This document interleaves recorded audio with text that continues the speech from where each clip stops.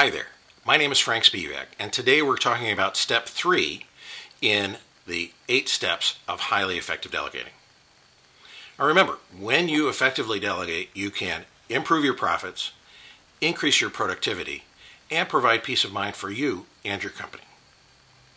Step three is to make sure that you are clear in the objectives and goals of the assignment that you are giving to another person. If you are not clear about what it is that's being assigned, how is the other person going to have any chance of success in meeting that goal and obligation? You need to be crystal clear in understanding what it is that you want done, what it is that the other person is to accomplish, and what does success mean? What does success mean to you, and what does success mean to the person that you're delegating to? So it's really important that you be very clear on the objectives and goals. When you do that, you can then be assured that you have been doing highly effective delegating. Stay tuned for step four coming up.